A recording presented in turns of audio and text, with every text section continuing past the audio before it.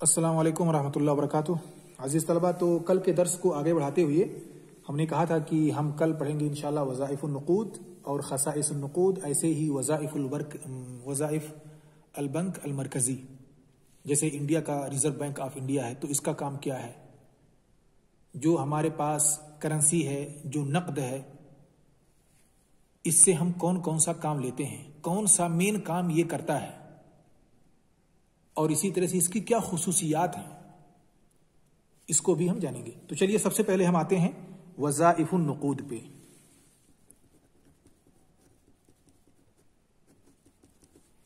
यानी मनी के जो फ़ंक्शंस हैं, मनी कौन कौन सा काम करता है? तो सबसे पहले हमारे पास क्या है? वज़ाइफुल नकूद का मतलब समझ गए? कि पैसा जो हमारे हाथ में है, इससे हम कौन कौन सा काम लेते हैं? पैसे से हम कौन सा काम करते हैं? ऐसा नहीं कि पैसे से हम सामान खरीदते हैं, सिर्फ़ यही है बस। इसके अलावा भी बहुत सारे मकासद के लिए हम पैसे को इस्तेमाल करते हैं। तो उनमें से पहला है वसीलत तबादुल। सबसे पहली चीज़ यही है और सबसे अहम चीज़ यही है।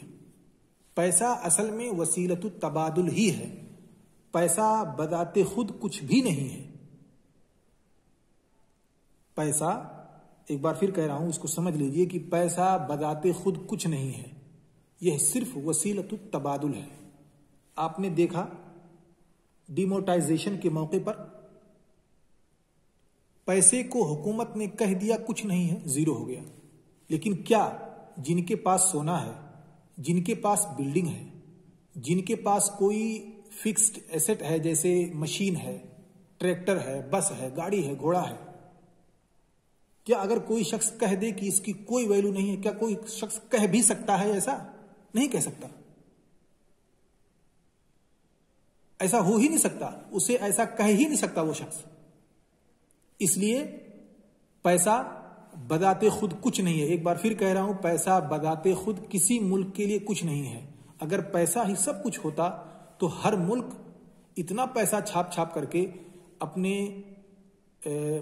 शहरियों को दे देता कि शहरी अपने घर ही में बैठे रहते और सिर्फ़ नोट ही गिनते। इसलिए मैं कह रहा हूँ, इस बात को ध्यान से समझें कि पैसा बदाते खुद कुछ नहीं है।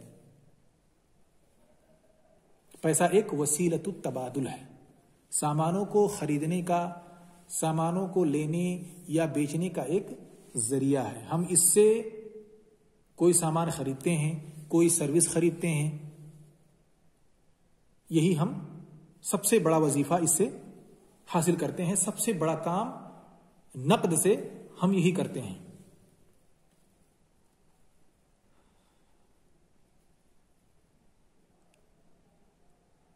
और दूसरा पॉइंट है हमारे पास, वहदतुल हिसाब है ये।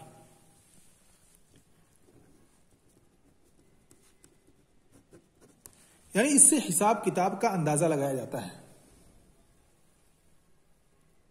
किसका कितना नुकसान हुआ, इसी रुपए पैसे से ही, नकद से ही हम उसका अंदाज़ा लगाते हैं कि इसके पास सौ रुपए तक का सामान है, इसके पास एक करोड़ रुपए तक का सामान है। इस सामान की कीमत इस वक्त दस रुपया है, बीस रुपया है, पचास रुपया है। तो ये एक प्रयास करने का आला है।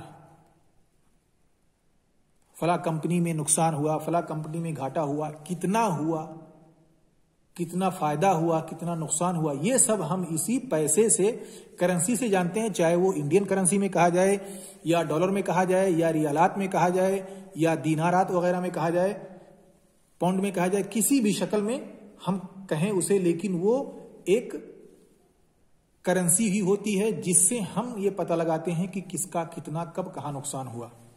तो दूसरा काम, सबसे अहम इसका काम है वहदतुल हिसाब यानी वहदतुल मिकियास लिल अशिया और तीसरी चीज़ ये भी सबसे अहम है मखजन लिल कीमा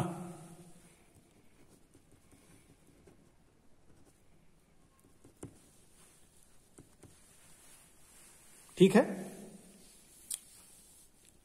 मखजन लिल कीमा यानी वसीलतुल इद्दिखार है सेविंग फैसिलिटी हमको ये देता है। हम अपने फ्यूचर के लिए इसको सेव कर सकते हैं। फ्यूचर में हम इससे बेनिफिट उठा सकते हैं, फ़ायदा ले सकते हैं। इस पैसे को अगर हम सेव कर देते हैं, लेकिन क्या आप कुछ चीज़ों के अलावा सारी चीज़ों को सेव कर सकते हैं? एक जानवर को आप सेव कर सकते हैं, कुछ सालों के लिए नहीं कर सकते। कुछ दिनों बाद वो बुढ़ा होकर के खत्म हो जाएगा। सोना आप सेव कर सकते हैं, लेकिन धान, चावल, गेहूँ ये आप कई सालों तक नहीं सेव कर सकते। इसके अलावा पैसा जो है, आप इसे कई जमानों तक सेव कर सकते हैं कहीं भी रख सकते हैं, किसी से छुपा के रख सकते हैं, छोटी सी जगह में रख सकते हैं तो इसे महफूज कर सकते हैं, किसी भी जगह रख सकते हैं, आपको कोई परेशानी नहीं होगी। तो ये सबसे बड़ा फ़ायदा वजीफा इसका यही है। और इसे आप कहीं भी ले जा सकते हैं। जेब में रख कर ले जाइए झोले में रख कर ले जाइए बैग में रख कर ले जाइए, पर्स में रख कर ले जाइए, कहीं भी आपको लाने ले जाने में कोई प्रॉब्लम नहीं होगी। तो इसका यह भी फ़ायदा है। तो आमतौर पर नकूद यही है कि वसीलत तबादुल है ये, और हिसाब किताब करने का एक मिकियास है, एक वहदा है, और कीमतों को सेव करने का वैल्यूज़ की सेविंग के लिए भी ये काम आता है।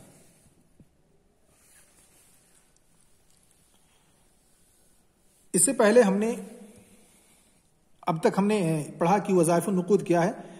अब हम पढ़ लेते हैं थोड़ा सा अनवा नकूद।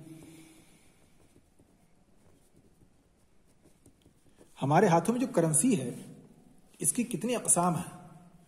हम तो सिर्फ़ एक ही करेंसी जानते हैं। या दो तरह की, एक तो सिक्का वाला और दूसरा नोट वाला। क्या इसके अलावा भी कोई करेंसी है? जिसे हम नहीं जानते या हमें जानना चाहिए। इसको भी हम पढ़ते हैं, इसको हम शुरू से आते हैं।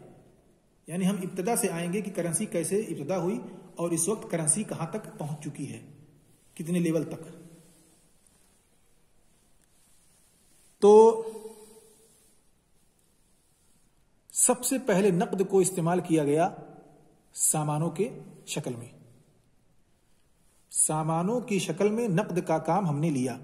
जैसे जो हमने बताया आपको कि बार्टर सिस्टम में, यानी निज़ामुल मुकायजा में, लोग सामान दे करके सामान लेते थे, सामान दे करके सर्विस लेते थे सर्विस दे करके सर्विस लेते थे कि भाई चलिए, मैं आज आपके यहाँ एक घंटा काम कर देता हूँ, दो घंटा काम कर देता हूँ, आप हमारे यहाँ कर दीजिएगा। अभी भी कहीं कहीं पर यह चीज़ होती है और हमने खुद और आपने खुद इस चीज़ को देखा होगा कि जब धान रोपाई के अयाम में अगर कोई शख्स ऐसा है जिसके यहाँ भी धान तैयार नहीं हुआ है। उसका जो बीज है, अभी तैयार नहीं हुआ है तो वो मौका देख करके किसी दूसरे के यहाँ जाकर के दो दिन काम कर देता था। इस बात पर कि भाई, आज मैं खाली हूँ तो मैं आज के यहाँ, आपके यहाँ काम कर देता हूँ, और जब आपका हो जाएगा तो आप हमारे यहाँ काम कर देंगे। तो ये सर्विस अभी भी चंद सालों पहले थी। अभी भी बहुत सारी सर्विसें इसकी हैं। जैसे जिनके पास ट्रैक्टर होता है तो जिनके पास ट्रैक्टर नहीं है, वो जाके कहते हैं, भाई, कि पैसा तो नहीं है, लेकिन मैं आपके खेत में रोपाई करा देती हूँ, या करा देता हूँ, काम कर देता हूँ आपके खेत में, और उसके बदले में आप हमारे खेत की जुताई कर देंगे। तो अभी भी बार्टर सिस्टम का जो एक रूप था, एक शक्ल था, आज भी मौजूद है निज़ाम कायजा के तौर पे। तो इसे हम कहते हैं, पहली शक्ल क्या होगी अनवानकूद की? अनुकूद असलिया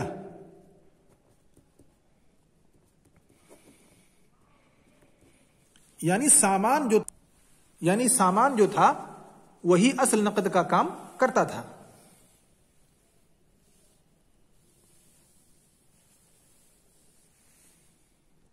और इसी में से जैसे सिलावद खदमात हो गया। मिसाल है ये। मसलन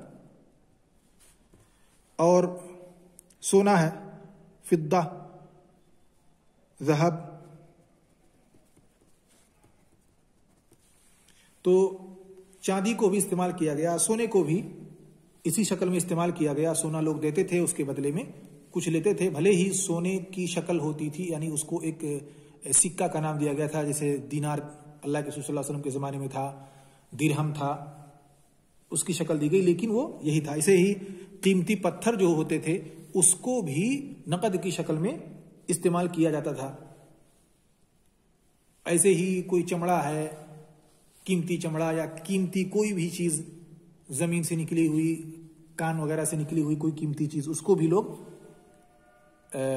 नकद की शक्ल में इस्तेमाल करते थे।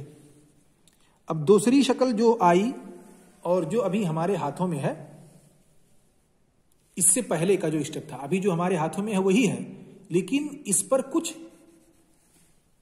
चीज़ें होती थी, जिसे हम कहते हैं ये कि ये करेंसी जो थी बैक्ड बाय गोल्ड होती थी। यानी हर करेंसी के पीछे सोना होता था। ये 1971 से पहले तक होता था। 1971 के बाद से करेंसी के पीछे से सोना हटा दिया गया। अभी भी कुछ लोग ये समझते हैं कि जो हमारे पास करेंसी है, गोया कि ये सोने की रसीद है। ऐसा बिल्कुल नहीं है। करेंसी बिल्कुल सोने से आज़ाद हो चुकी है। उन्नीस सौ इकहत्तर के बाद से ही करेंसी बिल्कुल सोने से आज़ाद हो चुकी है। करेंसी बिल्कुल एक पेपर है। हुकूमत ने कहा कि पैसा है, इसको आप चलाइए, चलेगा। हुकूमत ने कहा, रुक जाइए बेकार है बेकार है। क्योंकि अगर ये सोने का पेपर होता तो गवर्नमेंट उसको फिर डिमोटाइजेशन के ज़रिए से खत्म नहीं कर सकती थी, नोटबंदी के ज़रिए से, या उसको जो मोनिटाइजेशन है, उसको डी डिमोटाइजेशन नहीं कर सकती थी, उसे खत्म नहीं कर सकती थी।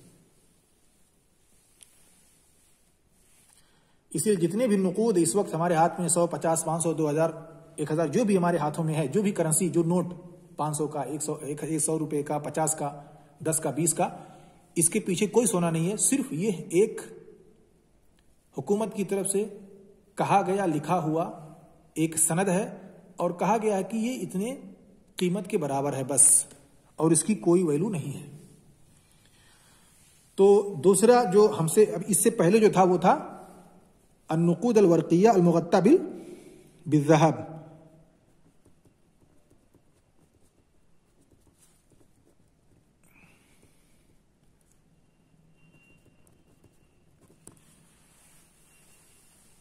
और दूसरा जो हमारे हाथों में है, बिदून जहब, जो जनरल है नकुद वर्किया, आप इसको ऐसे ही समझें। ठीक है? हम लग सकते लिख सकते हैं बिदून जहब। अनुकुद अलवर्किया गैर मुकद्दा विदहब इसके पीछे सोना नहीं होता। ये सोना बैक्ड करेंसी नहीं है, जो अभी हम इस्तेमाल कर रहे हैं। और चौथी करेंसी जो होती है, वो है, वो करेंसी जो बैंक बनाते हैं। आप, अगर जाएँगे, अगर सर्च करेंगे गूगल पे या कहीं भी कि इसमें लिखिए हाउ द बैंक या how bank creates credit bank या हाउ बैंक क्रिएट्स मनी आप लिखेंगे बैंक कैसे पैसे बनाते हैं, पैसे पैदा करते हैं तो आपको डिटेल से गूगल पे मिल जाएगा। तो जो करेंसी बैंक वाले बनाते हैं, इसे हम कहते हैं अनुकूद अल बंकिया।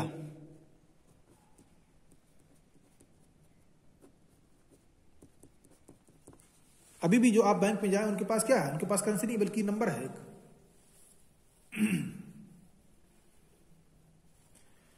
तो बहुत सारा, बहुत सारी दफ़ा ऐसा होता है कि बैंक वाले सिर्फ़ एक पेपर लिख के दे देते हैं आपको। मान लीजिए कहीं पे आपको दिखाना है कि फला चीज़ आपको खरीदना है। उसने कहा, भाई बैंक से कोई पेपर बनवा लाइए कि आप इसको पेमेंट इसका पेमेंट कर सकते हैं।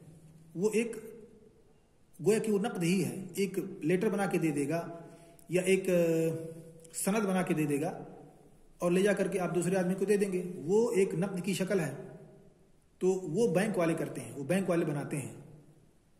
आपको लिख करके दे देंगे कि भाई ले जाइए, उनको दे दीजिए। तो जो बैंक वाले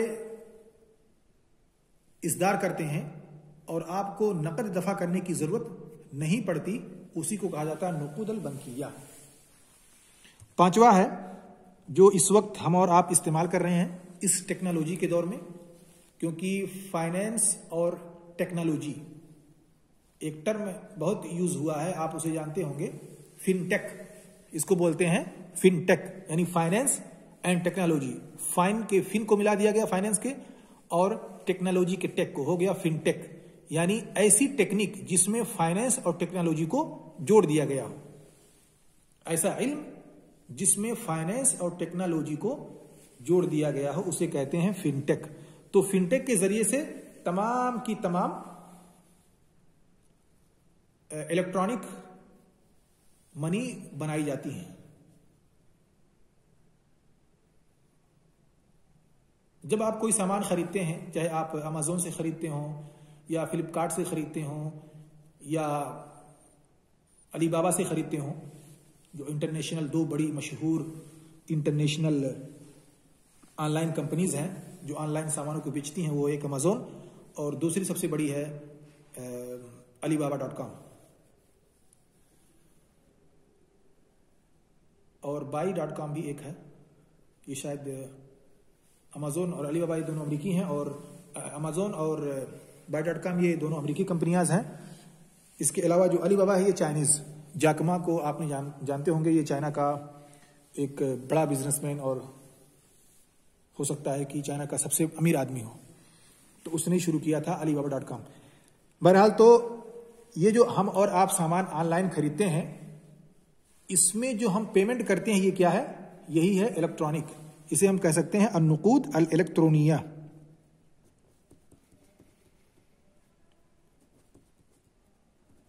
हम कुछ नहीं करते। इलेक्ट्रॉनिक नंबर है वो नंबर आपके पास नंबर था आपके बैंक में? आप जाकर के कहें कि भाई हमको करेंसी नोट दे दीजिए नोट नहीं उनके पास है नंबर है। आपके पास नंबर है, दस लिखा हुआ है, आपने पाँच का सामान खरीदा, पाँच नंबर उसमें से कट गया, आपके पास बचा सिर्फ़ पाँच नंबर तो इस तरह से जो पैसा आप खरीदते हैं, जो सामान आप खरीदते हैं, उतना पैसा उसमें से कट जाता है। वो एक इलेक्ट्रॉनिक करेंसी है। इलेक्ट्रॉनिक नुकूद है, नकद है। और तीसरा हम कह सकते हैं छठा नकद के अकसाम, अल, नुकूद अल एतमानिया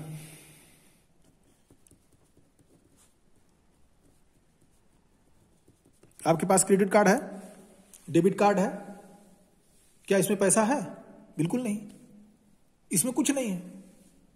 लेकिन आपके हाथ में जो पेपर है, ये जो कार्ड है, चाहे वो डेबिट हो या क्रेडिट कार्ड हो, या कोई और कार्ड हो, बहुत सारी कंपनियाँ कई तरह का कार्ड निकालती हैं, लेकिन मशहूर जो है, वो यही दो है, debit card and credit card. इसमें हम नहीं जाएँगे कि डेबिट कार्ड क्या है, क्रेडिट कार्ड क्या है, इसको हम बाद में समझ सकते हैं। लेकिन ये जो आपके पास कार्ड है ये ना तो पैसा है, ना तो कुछ और है, बल्कि ये एक तरह का इतमान है। एक तरह की क्रेडिट आपको दी गई है कि आप इसके ज़रिए से पैसा खरीद सकते हैं। अगर आपके बैंक में पैसा है तो फिर ये कार्ड जैसे ही दिखाएँगे, कोई ना कोई आपसे पैसा उतना काट लेगा और आपको सामान दे देगा। तो जितने भी बताकातुल एतमानात हैं, ये सारे के सारे इसी अनुकूद अल एतमानिया ही में आते हैं। तो हमने पढ़ लिया अनवा नकूद वजायफ नकूद, और एक चीज़ और ही खत्म कर देते हैं खसाइस नकूद। खसाइस नकूद। इसको, इसके बारे में थोड़ी बहुत हमने ऑलरेडी डिस्कस कर ली है, और तकरीबन वही है, जैसे कबूल आम, नकद जो भी होता है, पैसा जो भी होता है, हमने तारीफ़ में इसको पढ़ा था, उसकी क्या है? कबूल आम होती है वो। एक खसूसियत यह है कि वो इसे हर कोई कबूल कर लेता है। तजिया के काबिल होती है। हमने इसको बताया था। काबिल तजिया होती है। इसको टुकड़ों में कर सकते हैं और हर टुकड़े की वैल्यू सेम होगी। अगर सौ रुपए को आप सौ हिस्सों में बांटें तो इसमें कोई कमी नहीं होगी। चाहे आप सौ का सिक्का रख दें या सौ का नोट रख दें, दोनों की वैल्यू सेम है। चाहे आप सौ का नोट रखें या पचास पचास का दो रखें, दोनों की वैल्यू सेम है। इसमें कोई फ़र्क नहीं है। इसीलिए इसको हम कई टुकड़ों में बांट सकते हैं और हर टुकड़े की कीमत एक दूसरे के मुसावी होती है। ऐसे ही इस्तिकरारुल कीमा, इस्तिकरार अल कीमा।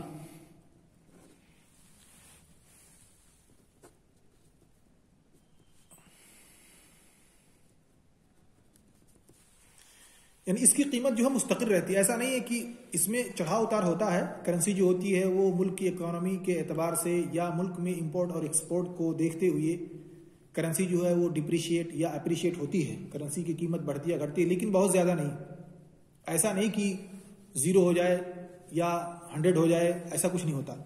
बल्कि एक मुस्तकिल कीमत रहती है, वो अलग दूसरे करेंसियों से उसकी कीमत घटती बढ़ती है। लेकिन आमतौर पर आप लेकर के जाएँ उसकी एक कीमत होती है, सौ रुपया सौ रुपया। वो नौ नहीं होगा। सौ रुपया निन्यानवे नहीं होगा। सौ रुपया नब्बे नहीं होगा, सौ सौ ही रहेगा। मुस्तकिल उसकी कीमत होती है। और एक और खसूसियत ये होती है, जिसको मैंने बताया कि ये वज़ाइफ़ुलनक़ूद में से है कि एक खुशियत यह कि ये सहूला होता है इसमें। सहूलतुल हमल। ये चौथा है।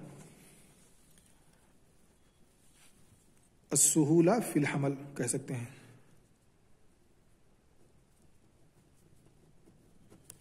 इसको उठाने में, कहीं पर ले जाने में आसानी है। लेकिन अगर वही सामान की शक्ल में होता तो बड़ी परेशानी होती। और उठाने क्या?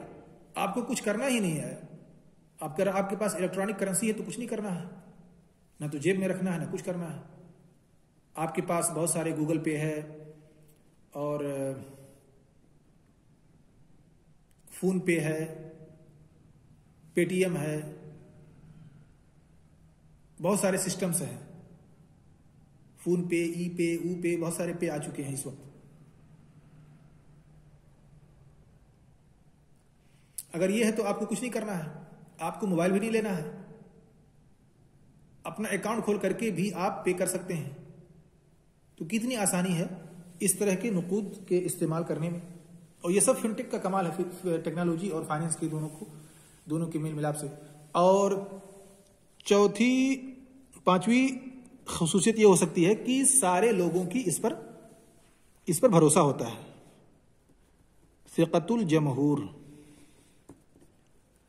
सारे लोग इस पर भरोसा करते हैं। कोई ऐसा नहीं है जो, जिसको सौ रुपये दो तो कहते नहीं यार, हमको ये नहीं लगता कि ये सौ रुपया है। वो सौ रुपया सौ रुपया ही है। हर कोई इसको मानता है। लेकिन अगर वही सामान होता, सामान की शक्ल होती तो कहते पता नहीं यार, ये सौ रुपये का है कि सौ रुपये से कम है, बराबर है। उसमें परेशानी थी उसके लिए। लेकिन ये हर कोई इस पर भरोसा करता है। किसी को भी आप सौ रुपया दें, वो सौ ही रुपया मानेगा। किसी से कहें, भाई, सौ रुपया मिलेगा। वो जान गया कि सौ रुपया कैसा होता है, क्या है, क्या नहीं। सबका इस पर भरोसा है और जमहूर का इस पर फिका है। फिर यहाँ पे देखिए, फ़िकतुल जमहूर करेंसी पर है, लेकिन जब करेंसी, चूँकि करेंसी कुछ नहीं है, असल में ये तबादुल है सिलातु तबादुल है। तबादुल करने का एक सामान है, एक ज़रिया एक वसीला है वसीला तबादुल। अब जैसे हुकूमत ने कहा, आप तक इल्म पहुँची कि इस करेंसी की कोई वैल्यू नहीं, फ़ौरन वो ज़ीरो हो गई।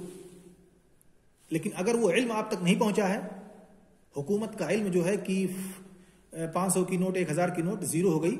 अगर वो आपके पास ये मालूम नहीं पहुँची है तो फिर क्या होगा? आप उसको इस्तेमाल करेंगे, आपका फिका बाकी रहेगा। लेकिन जैसे ही आपके पास ये इल्म पहुंचेगा कि ये करेंसी करेंसी नहीं, बल्कि पेपर है वहीं से आपका फ़िका उसके लिए ख़त्म। वो आपका कबूल आम भी ख़त्म हो जाएगा। उसकी कीमत ख़त्म हो गई। आप चाहे उसको तजिया करें, एक टुकड़े में करें, पचास पचास करें, कुछ भी चलने वाला नहीं। उसको कोई तजिया कर भी नहीं सकता। ना उसका कोई खुला करेगा, खुदरा करेगा। और फिर उसकी वैल्यू ख़त्म हो जाएगी। छठी खसूसियत यह है कि यह तजानुस होता है इसमें। यानी एक दूसरे के मुतशाबे होते हैं, एक जैसे होते हैं। मैंने मिसाल दी कि अगर आपके पास सौ रुपया हो, आप उसको कई अज्जा में कर दें। सब एक जैसे होंगे। सौ रुपए कई एक हों। सौ सौ के आपके पास दस नोट हों, सब एक जैसे होंगे। चाहे वो पुराना हो या नया हो, चाहे एकदम कोई घिस चुका हो, चाहे दूसरा कोई अभी प्रिंट होकर के आया हो, सब के सब सौ ही रहेंगे। एक जैसे। नया पुराना होने से उस पर कोई फ़र्क नहीं पड़ता। सब की वैल्यू एक जैसी है, सब बराबर हैं। एक जैसे हैं, एक एक शक्ल के हैं। और चाहे वो सौ का हो या सौ का, टुकड़ा हो, दस का, पाँच का, बीस का, वो सब के सब एक जैसे होते हैं। तो ये रहा खसाइसुल नकूद अभी हमारे पास बचता है वज़ाइफुल बंकुल मरकज़ी। चलिए इसको इसी पर ख़त्म करते हैं। वज़ाइफुल बंकुल मरकज़ी, ये बड़ा चैप्टर है। इसमें हम पढ़ेंगे रिज़र्व बैंक ऑफ़ इंडिया क्या क्या कर सकता है। क्या क्या करता है रिज़र्व बैंक ऑफ़ इंडिया? क्या क्या करता है? आरबीआई, इसका वजीफा क्या है, इसका फ़ंक्शन क्या है, ये मुल्क में कौन सी ज़िम्मेदारी निभाता है, इस पर हम डिस्कस करेंगे। ठीक है? तो बस आज के लिए इतना ही। अल्लाम वरहमल वर्का